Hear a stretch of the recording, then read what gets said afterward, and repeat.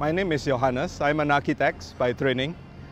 Today, I will walk you around Songkhla just to introduce some aspect of this very interesting town in southern Thailand. So this is uh, Songkhla Lake. The immigrants from southern China came from the north directions, from South China Sea, and then they landed here and entered the city from these directions.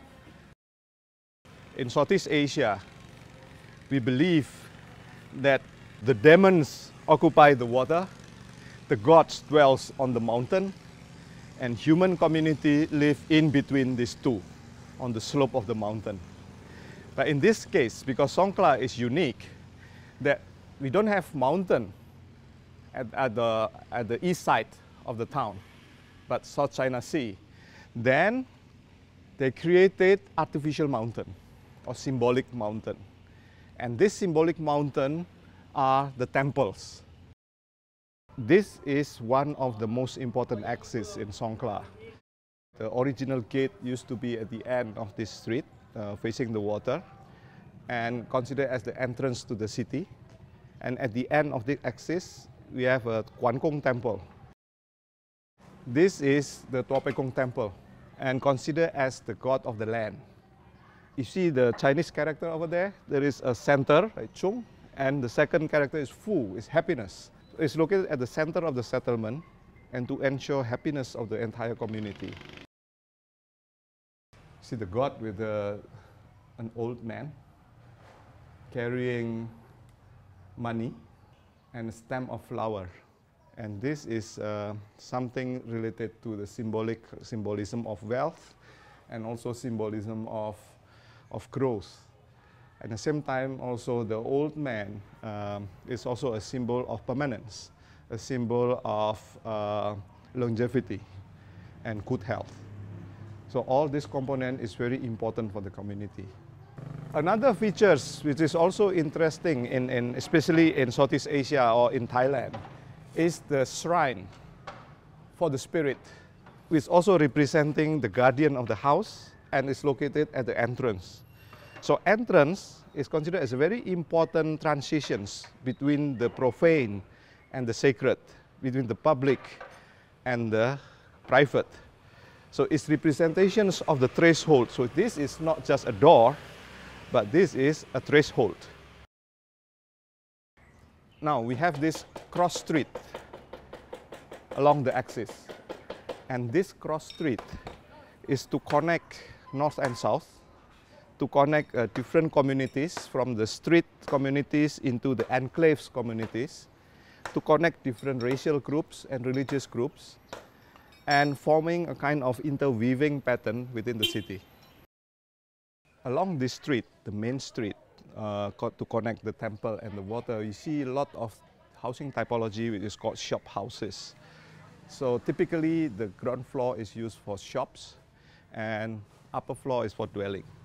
But this is very important because this is representations of the marketplace. It's not just a house, but it's also the market, central market of the city. It's not inside the building, but it's on the street.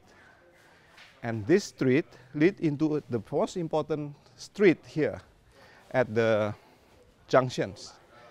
And these junctions was guarded by the Kong temple. This is Kwan Kong or Guan Di, a famous general in the ancient China which become a god or considered as a god. This god is especially very, very prominent in terms of uh, a god that may be able to, to, to connect uh, different community together. So the temple for Kwan Kong is typically located at the city center and very close to the marketplace. And the second uh, morphological consideration for the temple is always located at the junctions. And these T junctions is a connections between two very important economic nodes of the city. One is the street market and the second is the harbor. So that is the main temple for Kwan Kong. And Kwan Kong is represented in three forms. The first one is Kwan Kong holding a sword, which is the symbol of power or political power or military power. The second is Quan Kong holding money or gold, and it's a symbol of trade and economic prosperity. And the third Quan Kong is holding book with the symbols of academia or intellectuals. In Songkhla, it's very special because Quan Kong in Songkhla is holding a book. This is representing the desire of the community to become an educated, intellectual, cultured community. Almost in uh, all Chinese temples, we will find these uh, lions or mythical lions which guard the entrance or the threshold. This one is a male. The mouth is open and is holding a ball. The other lion, this is woman with a baby. So this is a very ancient symbol of life and death. This temple is so-called the city temple or city pillar temple. There is a pillar located in front of the main altar. And one of the most important gods of this temple is actually is Machu or the Empress of Heaven.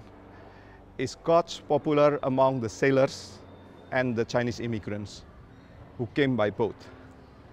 So normally if the immigrants from southern China decided to stay in a certain locations in Southeast Asia, the first thing to do is to dismantle the boat and then set up a special temple for Machu.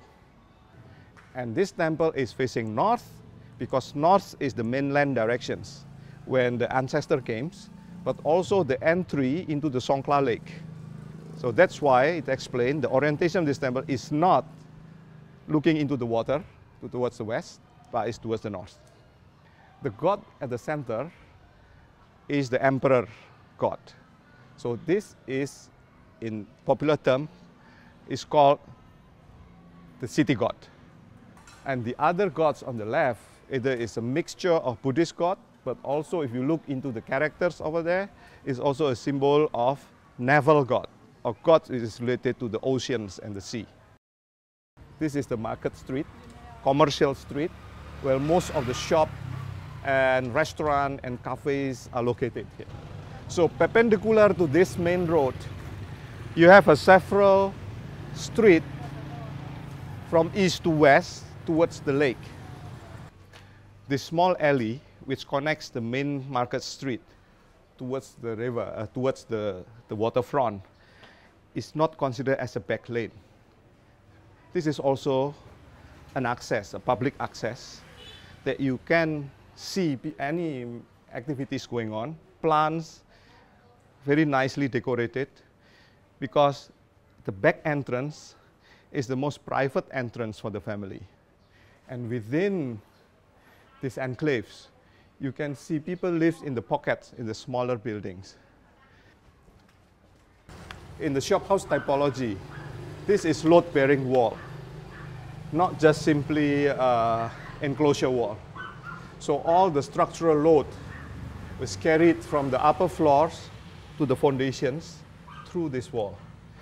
It's very different with the system developed in China. Because in China, the house is based on frame structure. And the wall is just an enclosure. It's not structural wall. So in China's uh, original typology, when you remove the wall, the building still stands. But here it's not. Because the wall is actually the load-bearing structure. When you remove the wall, everything will collapse. And this typology came together with the Europeans. First by the Portuguese, and then the Dutch, and the British. And this European structural system is adopted into a vernacular local architecture. And the result is a combination, a new hybrid of building typology, which is considered as the most resilient typology, so-called townhouse or shophouse. You look into the roof tiles. This is a hybrid of Chinese and local tiles. It's rounded and the way they put the roof together is by superimposing Why they come to this lake it's not on the beach on the other side of this island? Maybe because this is already uh, a safe haven. There's a lot of Malay community, fishermen communities stays here before the Chinese immigrants came to this place. And also give a protection from typhoon. It is safe. You don't have a big waves coming from that directions, from the ocean directions. There is no strong wind directly coming from the open oceans. But you have a very peaceful lagoon or lake. It's not actually a lake, but it's a lagoon because it's directly connected to the sea. It gives a natural protection so you can park your boat safely, you can land safely, and you can board the boat safely. This is the former city wall of Songkhla. Before they built the wall, this is an open settlement of fishermen settlements and immigrant settlements. When the community getting stronger and richer, they need protections. So they built this wall and the gates on different sides.